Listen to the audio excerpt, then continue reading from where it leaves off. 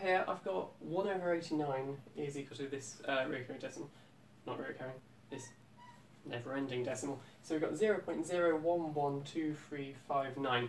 Now, some of those numbers should be quite familiar. Um, so it starts off looking quite Fibonacci-esque. Um, the problem being here, we're expecting that to be an 8 rather than a 9. Now, for now, I'm, I'm going to ignore uh, the 9, uh, we'll come back to it later. Um, let's just pretend we haven't seen that last digit for a minute, and let's pretend it, it carries on doing the Fibonacci forever. What I want to do is just briefly justify that these two things are equal. And I'm going to use a trick that sometimes uh, they use for recurring decimals at um, A star stuff, which you can see. Uh, and the, the, trick is this. What we're going to do is we're going to define um, some letter, x, equals that thing up there. So 0 0.011235 dot dot dot.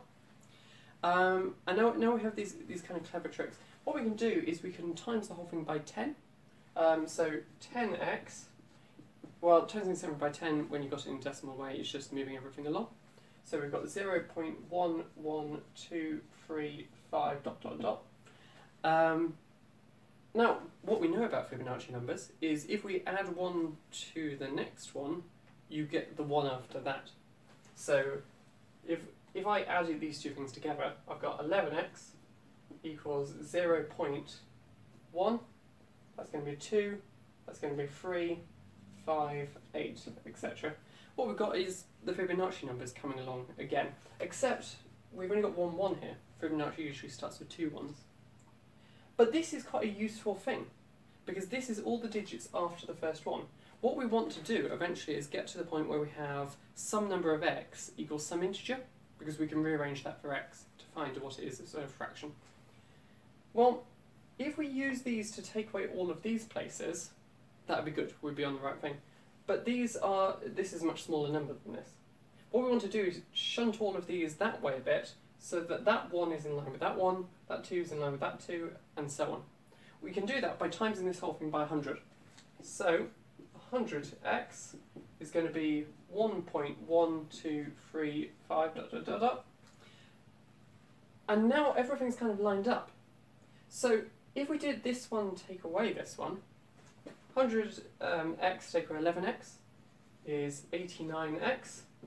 And then we've got 1 take away 0 is 1, and everything else is just going to cancel out. So we've got 89x equals 1, and so we've got x equals 1 over 89. Right. That's only part of a more generalised result. Uh, I'm just going to briefly explain why we actually had the 9 after this. It's because if we carried on writing our Fibonacci numbers, that would be an 8, and the next one would be 13. Which should be 3 in that place, plus 1 there. The next number after that would be 21, which is 1 in that place and 2 there. So actually the next two digits would be 9 and then 5. It's just because it's all shunted up that they all start running into each other. So it gives us the start of the Fibonacci numbers very nicely and then it gets less nice. I'm going to clear this off and then we're going to do a more general one. Um, okay, so I, have got a new uh, decimal written up and I've written up in an attempt to solve the problem of them collapsing together. So I've put in extra zeros between the things. So instead of 0, which is we've got 0, 0, instead of 1, we've got 0, 1, then 0, 1, then 0, 2, then 0, 3, 0, 5, 0, 8, and it gives us two places for each of our things. So we can now fit in 1, 3, 2, 1. We, we've got two spaces assigned for each Fibonacci number. Now, this again is just delaying the problem. We're going to have that problem when we get to the three-digit numbers. So when we get to 144, which is the first Fibonacci three-digit number, that's going to start bleeding over into the others. But at least we can get uh, more of the Fibonacci numbers with this. And the question is, uh, what fraction does this become? And there's quite a nice thing for it. But we're going to solve it in exactly the same way. Um, so our thing before was times by 10 to shunt them up um, under the next Fibonacci number that we wanted to add them to. But actually shunting them up one place isn't going to do it anymore. If I want to add that 2 to that 1, I'm going to have to times by 100 to shunt it up two places. So that's what we're going to do. We're going to have 100x equals 0, 0.0, that 1 is going to move there, 0, 1, 0, 2, 0, 3. I, I'm not going to do the rest, it follows the same pattern.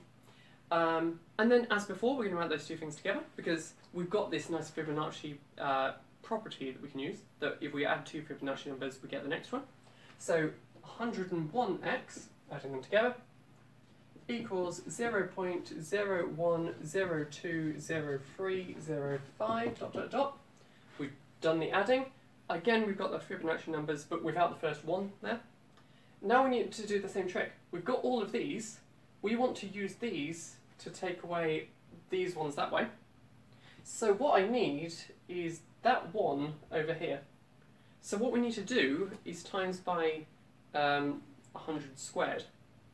Uh, so last time, when we were doing the first one, we times by 10, and then we times by 10 squared to do this step. In this one, we're timesing by 100 and 100 squared, and it will follow this general pattern as we go. So, if I times by 10,000,